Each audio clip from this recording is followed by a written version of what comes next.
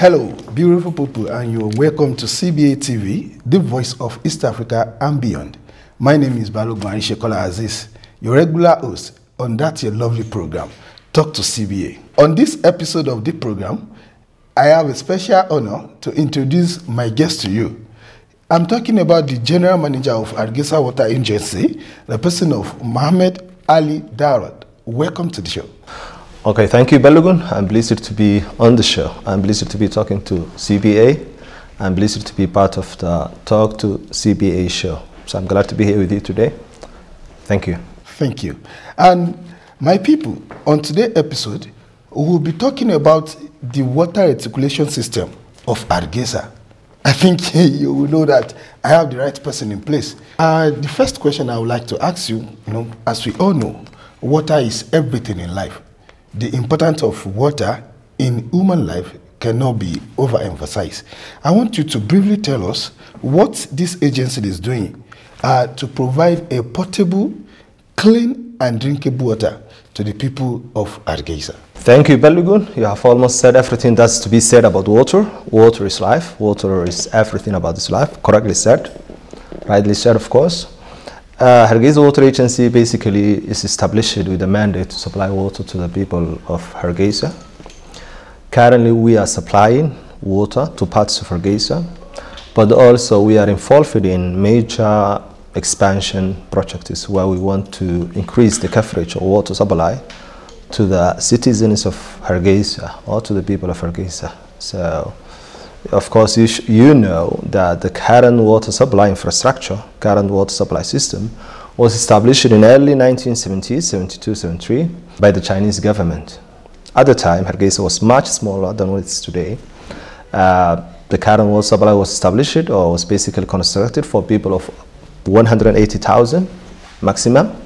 But today, you know that Hargeisa has expanded over the last three decades since you know the establishment of the Somaliland nation. And we have a population of over 1 million. Of course, so you should see the mismatch there. Water intended for, or uh, for 180,000, now we have a people of around of over 1 million uh, inhabitants of the, of the city of Hargeisa. And on that basis, we are doing now, or we are involved in uh, expansion projects with the support of our international partners and the support of our, the European Union, the German government, Somaliland Development Fund, Coca-Cola Africa Foundation. Those are our development partners who are currently supporting Hargeisa Water Agency in its attempts to increase the water supply so we can supply more potable water to much uh, bigger you know, percentage of the current uh, people of Hargeisa. Thank you very much. You, you actually, you know, said a lot. Uh, but, you know, with regards to what you said the, the agency is doing, we all know that accessibility of this water is very, very important. And it's like providing water for the citizen is the major key project that governments can do for people. Can you please tell us what the Somaliland government is doing in regard of this water reticulation uh, to bring clean water to the citizen of, of, of this country? You know, the government, uh, Somaliland government, and in particular, you know, it is agents, Hargeisa water agents, uh, at the end of the day, uh, has the mandate to supply water to the people of Hargeisa. What the government currently is doing is that we are working very closely with our partners in making sure that the projects, which I have uh, mentioned, are implemented in the right way. We are supporting the partners. And uh, at the moment, of course, you know, uh, the projects we are running at the moment are divided into two. Uh, the first projects are those projects which start from all the way from the well field, from the boreholes, to the where you call the Chinese reservoir. You know, so water starts from the borehole, then they come to the Chinese reservoir, and that's where distribution is expected to start from. So at the moment we have um, those two projects. One is about increasing the water supply, and one is about distribution of the water that we bring to the city of Hargeisa. As for the increasing of the water supply, of course, we have the support of the European Union, we have the support of Somaliland Development Fund, where we are already involved in excavating more boreholes, in constructing more boreholes so we can supply even more water, where we have uh, successfully completed the construction of 23 kilometer long uh, transmission main pipe that's to supply water to Hargeisa. Now it's complete. We have completed the first phase of the pump station. That's to supply water for, to the city of Hargeisa. And what's uh, remaining there is just, you know, the second phase of the pump station, which is, you know, the electromechanical part. But the boreholes are complete, the first phase, of course. Uh, the transmission main, or the main pipeline that brings water from the well field to the city of Hargeisa is also complete. As for the distribution within the city of Hargeisa, which is also another uh, you know, important part of the system, is under construction. In, in this regard, we have the support of the German government, basically, through this uh, bank, KFW, the German Development Bank, where we are implementing, alongside KFW, a major distribution project where we are going to lay a pipeline of around of, of 163 kilometers within the city of Hargeisa, where we are going to um, construct four reservoirs in the four major districts of Hargeisa, 26 June, Ibrahim Koodbuur, Hamoud Haibe, Ahmed Ga'al the five, I, I said, the five major districts of Hargeisa, of course. They are under construction as we speak. Of, uh, of the 160 kilometers where we expect to do, 60 kilometers is already complete, uh, laid into the ground. The four reservoirs are under construction now as we speak. And with the completion of this system, we'll be in a position where we supply water to the people of Hargeisa in a manner that's more equitable, that's more fairer, because now one limitation we have with the existing system that was built by the Chinese in the early 70s is that this system was designed for a city of for a city much smaller than Hargeisa is today. It was designed for a city of 180,000, as I said earlier, and at the time it was not foreseen that Hargeisa will expand into the major city that it is today. So that gives us a very big, you know, a limitation, which is that we can't supply the water we are bringing to Hargeisa today, as we speak, to the people of Hargeisa in a manner that's equitable because it was designed for the old city of Hargeisa. And of course, the people who are getting water now are the old city of Hargeisa. But all these areas that expanded later on are not getting any water from the current system. But with the new system, when it's complete, we will be in a position where we say we are supplying water to the people of Hargeisa in a more equitable manner, of course. Uh, this, this is, you know, the beauty of the new system, of course, absolutely, yeah. Hmm. That is a very good development. And uh, I, am sure by the time that project is completed, the, the old people of Hargeisa will get water, just like you said. Uh, now, uh, I would like to go into like the very recent event that this agency, you know, uh, uh, put together. But before I go there, I would like us to take a look at the report of that event so that uh, people will understand what we want to talk about. We'll be right back. Contaminated water and a lack of sanitation are killers in many African countries where waterborne diseases are constant threat to health. Research says only 30% of Somalis have access to clean water, leaving the majority vulnerable to several life-threatening diseases. The launching of Hargeisa Water Quality Control Laboratory, which is a regional bacteriological water testing and chemical analysis laboratory, no doubt makes a huge difference. The general manager of Hargeisa Water Agency, Mohamed Ali Daarood, in the launching event, established that the mandate of the agency is to supply clean pipe-borne water to the people of Hargeisa, adding that the introduction of the country's leading water quality control laboratory will spur the proper monitoring of the quality of water supply to the entire Hargeisa. We have to work hard on how to make a long-term policy and create what call subsurface dams because the dams that the people of Hargeisa drink now will not last. Then we have to capture the waters in the valleys. Yes, we're planning on how to do that right now. The second plan going on is to build a large hydro project which the agency is highly concerned about in Hargeisa, which we believe will take off the burden of the entire city of Hargeisa. This is the plan we're currently pursuing. He said water testing laboratory was launched to tackle the increased waterborne diseases in the country. The Vice President of Somaliland, Abdurrahman Saylici, eschewed the need for the establishment of the laboratory, adding that it will save not only the many lives of the Hargeisa, but the entire nation at large. Uh, ceremony for operating the lab, laboratory test for water it, it will reduce the epidemic diseases when it's clean, the water is cleaned and uh, tested. So I'm very happy to attend the launching of this laboratory test. Other government officials highlighted the importance of this laboratory for the country. The, the significance is better water, uh, better health, and it's um, good for the community because this is prevention of all the waterborne diseases is going to be addressed and also of course how many of our people die of waterborne diseases water has been scientifically proved to be a universal solvent. Its use and significance in our life cannot be overemphasized. But if water is dirty waterborne disease can be as dangerous as anything. This is Hargeisa Water Quality Control, and here is the manager of this laboratory. Uh, actually, this laboratory will be uh, beneficial to the uh, people in Hargeisa because we will be testing the quality of water used in Hargeisa city. This laboratory is actually very standard and it will be able to test the different uh, quality parameters of drinking water. In Hargeisa Water Quality Laboratory, we determine the total hardness to know exactly how hard uh, that water is. Uh, we're also testing uh, toxic and heavy metals in this laboratory. We are testing uh, cadmium, we are testing copper, we are testing arsenic.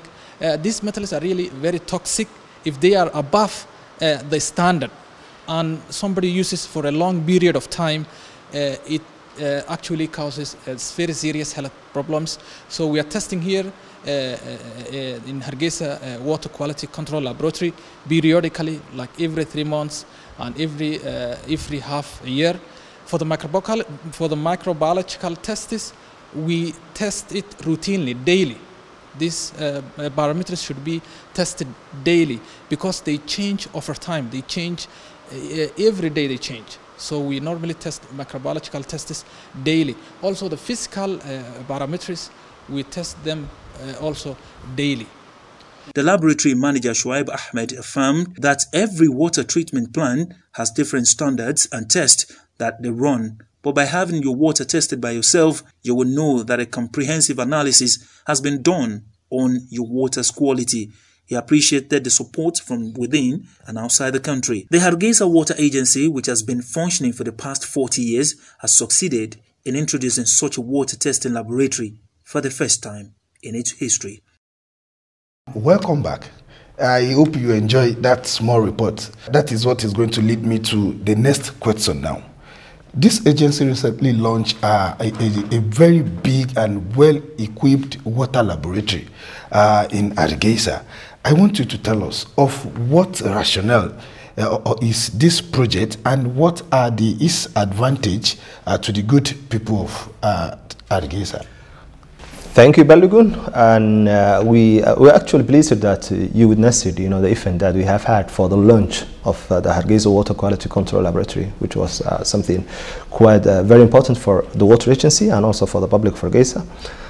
the rationale behind the establishment of this laboratory basically was, you know, um, we're expected to supply as a government institution uh, water to the city of Hargeisa, but also we have to also be uh, in a place where we know exactly what kind of water is being supplied to the people of Hargeisa by the water agency itself and also by private water sellers or private water vendors or private water tankers as uh, people refer to them and to establish that basis where we are supplying or the people of Hargeisa are getting water that are fit for human consumption, as it's rightly said.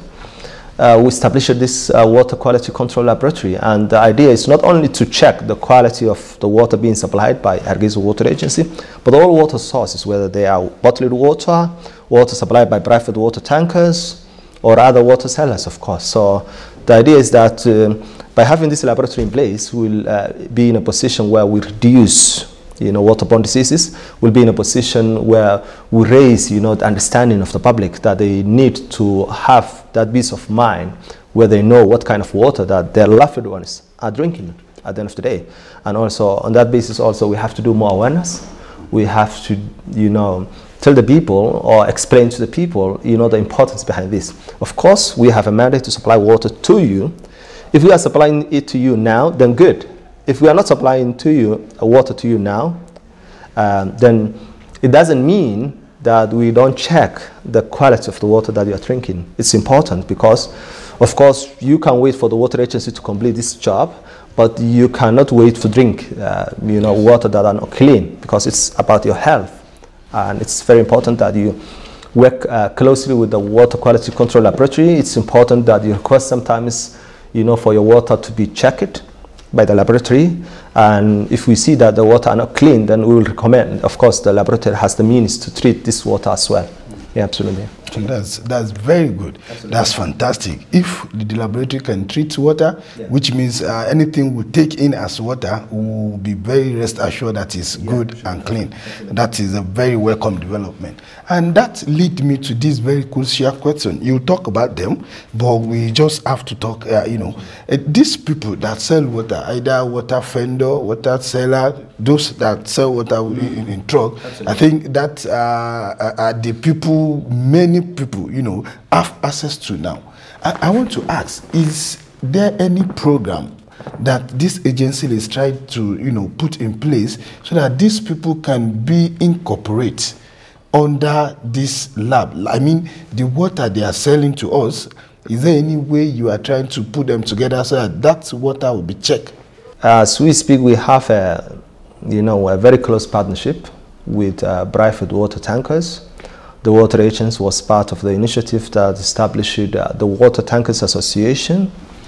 And in order to make sure that we support the part of Hargeisa where, where, where, we don't supply water to, we have established this Water Tankers Association where the water agents, alongside the Hargeisa municipality, are subsidizing you know, the royalties of all those water tankers. We are paying around 25% of the royalties of you know, all these water tankers that are supplying water to Hargeisa, uh, it's about uh, the members of the Water Tankers Association are, are, around 300 water tankers. So each one of them is uh, getting around 25% of their tax from the water agency uh, revenues.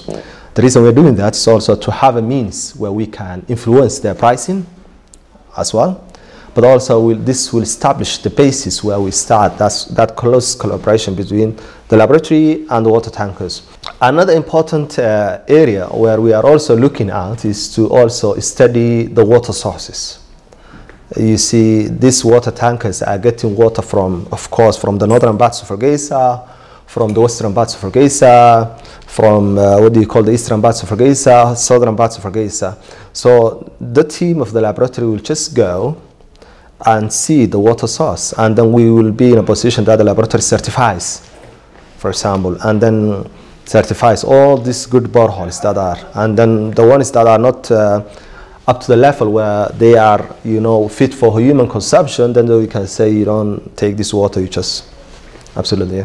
Hmm, that's a very good one. Yeah. I think if we can, you know, tackle it from the source, yeah. we all believe that what they are bringing to town is good, Absolutely. which is, uh, you know, very good. And um, another area will be the, those who are companies which are, you know, producing, uh, what do you call them, uh, bottled water or mineral water, or, or uh, and I think also it's another area where of course you have a label on you know on the bottle of the water it says they have this kind of components you know uh, in, in the water and also the laboratory also is checking whether what's written on the bottle, the label there, and what's inside the water matches. If it doesn't match, then we speak to individual companies uh, just to address this issue, where, but also where we can support them, you know, uh, uh technical as well. Yeah, actually. That, that's that you know it's very good and it's a welcome development. Now I, I would like us to talk about uh, a very critical issue now because based on my own observation, some part of Hargeisa, they are enjoying clean and good water supplied from government. Why some are not?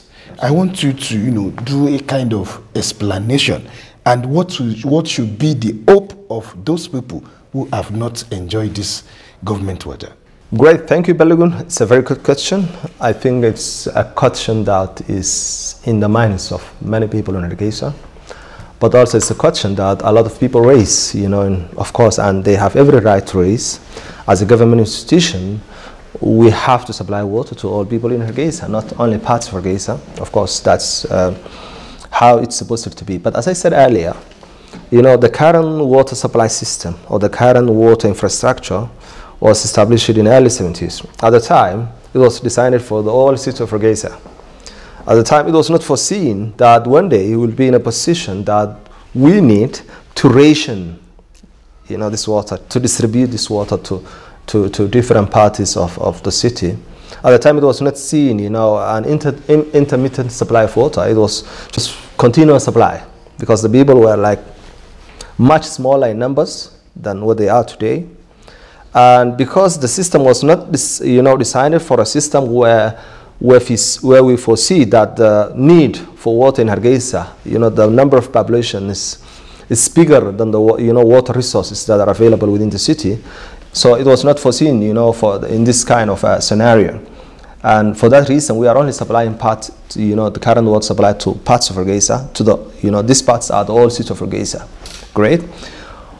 But with the new infrastructure that's under construction, with the support of our partners, our development partners, including the European Union, the German government, uh, especially you know uh, with its German Development Bank (KfW), the Somaliland Development Fund, which is also a very close partner of the Water Agency. We're doing something about that. In the future, once the system is completed, whatever amount of water that's supplied to Hargeisa will be managed in a way that's fairer, that's more equitable, because the system is designed for such a purpose. The current water supply system is not designed for that purpose. It was designed certain parts of Hargeisa in the past. But this system is designed in a way where we are considering Hargeisa as it is today, Hargeisa with all the infrastructure, with all the construction development that's ongoing within the city as it is today. Of course, Hargeisa is a very big city. It has a huge population and we cannot provide, you know, water, 100% coverage at one time. But we can do in percentages, in different, you know, uh, uh, you know, uh, phases, of course. So, but we will have, you know, that, that, that possibility where we supply water equitably because now we have four reservoirs, you see. One is in Ibrahim Koodbuur district, at the Chinese reservoir, next to the Chinese reservoir, the old Chinese reservoir. And we'll have another reservoir in uh, district, in Haibar district, in Galnibah district. In the past, all water were coming to the Chinese reservoir, and then they were going through the pipe.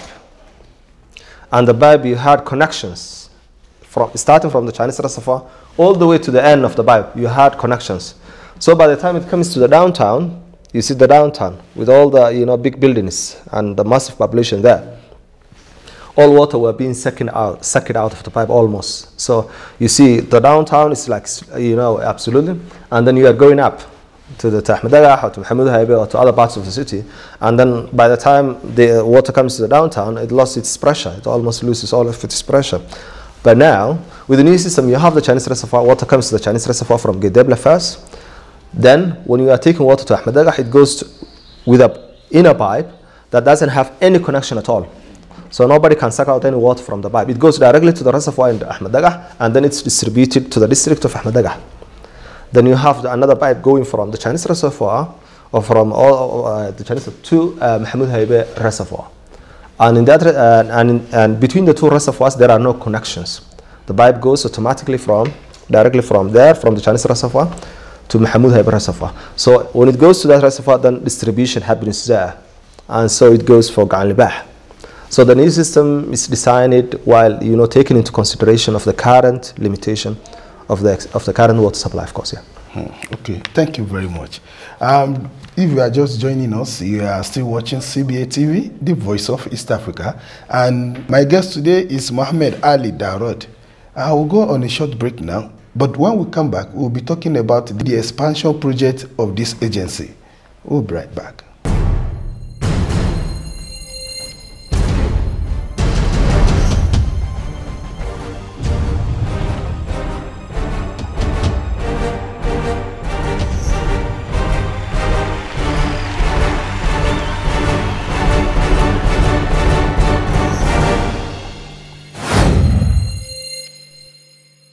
Out there. Tune in to CBA TV, the voice of East Africa and beyond. Uh, there's so many people around the world who are watching along with you. Welcome back. You are still watching CBA TV, the voice of East Africa and beyond. I still remain your host, Balogun Arishekola Aziz. Um, let's get back to the business, as we were saying before. Uh, we understand all what you have rightly discussed with us, and now, in every project of this nature, there is room for expansion, although you have been talking about it. But I want to know what are the plans, like your expansion plans on this project, maybe in the next five years or thereabouts? Mm -hmm. Thank you. Uh, first expansion, of course, we have talked about, which is the water expansion project, where we expect to increase the coverage of water supply within the city of Hargeisa. As I said, and this is to, to be cautious, we cannot supply water to, you know, to all parts of Hargeisa at one go. That is, you know, nearly impossible.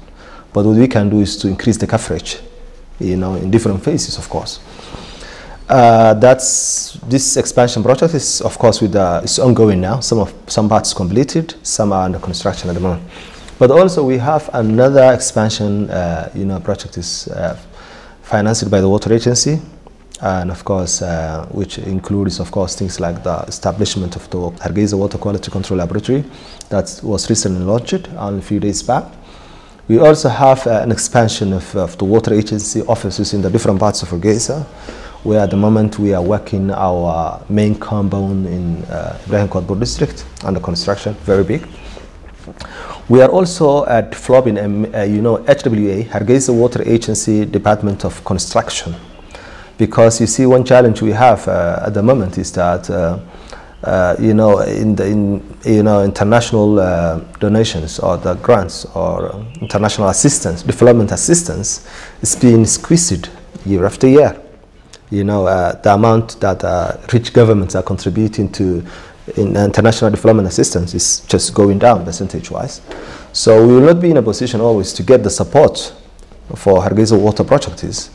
And on that, uh, in, that, in, that, in that scenario, uh, Hargeisa Water Agency is developing its own uh, you know, department of construction where we foresee to work you know, on the sustainability of the current water supply system by increasing, you know, the amount of recharge that's going down into the aquifer from, you know, the seasonal, uh, you know, rains. We do that by constructing, you know, what you call subsurface dams and other mechanisms where we make sure we have uh, more water as recharge going into the current aquifer. And we are doing that uh, by, by, by, you know, um, purchasing as much heavy machinery as possible. So we have now almost a big portion of this as well, to, uh, because otherwise if we just rent, it's very expensive. We can't do that. Great, and we have our own engineers, of course. Another area where we're looking at after we do this uh, work, where we increase the recharge of the aquifer, of the current aquifer that's supplying water to Hargeisa, we are also planning to uh, construct what you call small-scale dams around the city of Hargeisa with our own construction department. We are doing that to make sure that we reduce the pressure on the on the on Hargeisa's main water supply. So things like private water tankers or water for construction or for other uses can be you know uh, fetched from from from these small scale dams. We are also looking at things like establishing our own mechanical workshop, commercial mechanical workshop, where we foresee the water agency, of course, it's a commercial, uh, you know, uh, mechanical workshop, you know, get some revenue from that, but also has another very important, you know, um, target, which is to increase, you know, uh, the skills, you know, uh, the vocational skills of, of the people of Hargeisa. When they come, they train there, then they move to other parts of the country with the skills they have learned, things like plumbing and other, you know, uh, important uh, skills, of course, yeah. That's a very good one, and I believe by the grace of God, all uh, will be fine. Yeah. On a very last note, you know, you've talked a lot, but I believe uh, the Somalilanders will still be looking out to listen to what is going to be like your last message for them, like the hopeful message, the hope-raising message for them as the general manager of uh, Hargeisa Water Agency. My last message to the people of Hargeisa is that now we are working uh, our construction teams or the companies, uh, of course, we have foreign companies who are doing the construction work of, of this project, Hargeisa Water Supply and Basic, basic Sanitation, uh, supported by the German government. Within the city, of, we have two German companies. One is uh, the contractor and one is the consultant, the engineer who's checking the work, of course. They have uh, a number of teams within the city of Hargeisa. And my message to the public of Hargeisa is that we need to work uh, to support these uh, teams who are doing the pipeline, who are doing construction work of kiosks, of reservoirs, because they are working for us. This is uh, for the city of Hargeisa, for the benefit of the city of Hargeisa. And uh, with, with your support, of course, we can successfully complete this job, which is uh, the current water distribution system, which we are doing at the moment. That's my message to the public. But also another important message is that, of course, we have issues with the land always you know, people, you know, people doing, you know, their construction on pipes, you know, so that's also, I think, something we have to, uh, as the water agents and other government institutions like Hargeisa municipality, we need to just educate people more, but also have systems that we protect, you know, pipes, because in a major city like Hargeisa, you cannot have a situation where people are just, you know, doing construction or houses on major water supply pipes. It's risky to do that it hinders you know the water supply system and it's not good for the city um, the group people of Hargeisa, as you can hear from the, uh, the general manager, that with your support, all these things will be very, very easy at the end of the day. We want you to, you know, collaborate with us, support our staff. Vandalization of government property is absolutely wrong. We implore you to protect everything we, you have in your area, uh, we are just working to make things easy for you. This is where we will draw the curtain of this program. I thank you for viewing. Thank you for coming. We meet next time, same station. Bye for now.